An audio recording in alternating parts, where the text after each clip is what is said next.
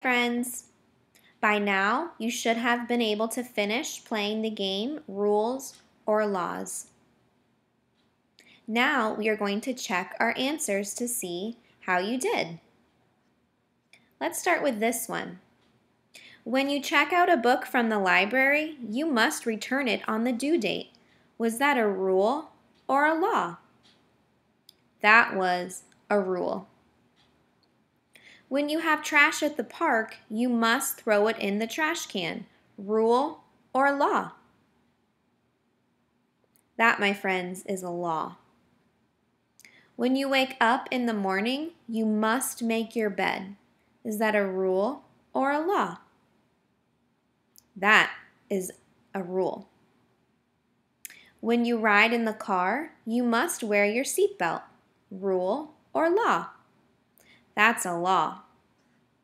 When you are at school, you must raise your hand to speak. Is that a rule or a law? That's a rule. You must stop at a red light. Rule or law? That's a law.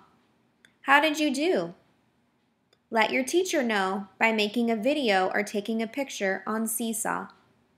Great job.